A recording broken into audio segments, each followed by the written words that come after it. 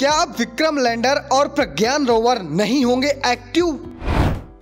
वैज्ञानिक ने किया बड़ा दावा, कहा फिर से लौटेगी दोनों में जान। भारत हुआ है सफल, इस दिन होगा ये चमत्कार।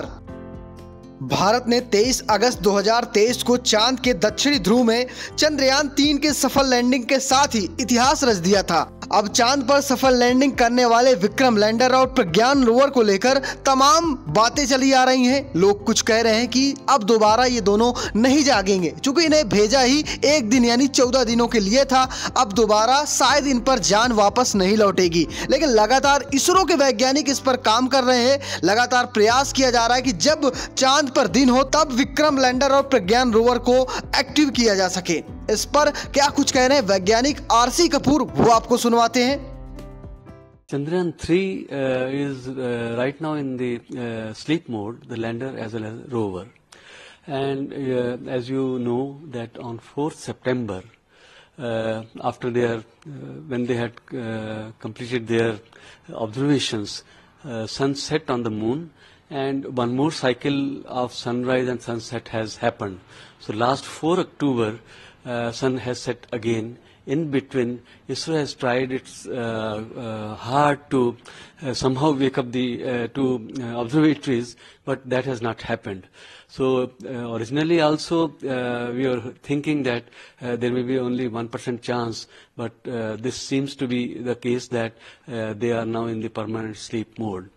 So uh, the next uh, sunrise is on uh, 19th October, and uh, on 20th uh, evening Indian Standard Time, sometime the sun will rise, uh, reach uh, an elevation of about six degrees. After which uh, ISRO might uh, try once again to wake the two observatories up. In case that happens, that will be really a miracle. But so far as the existing situation is concerned, uh, both the observatories have done their best and they have provided sufficient uh, data uh, to ISRO. ISRO scientists had predicted, you know, they had actually engineered it to work for one uh, moon day. So, you know, it has done justice to whatever we've done.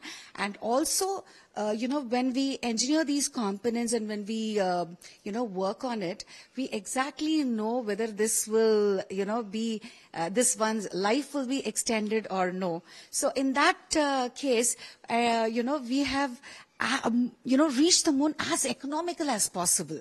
So reaching moon as economical as possible, soft landing, finding minerals, the rover moving on the moon's surface. I think we've done everything, you know, whatever the objectives that were predicted or that was given by ISRO. I think everything is being, you know, tick.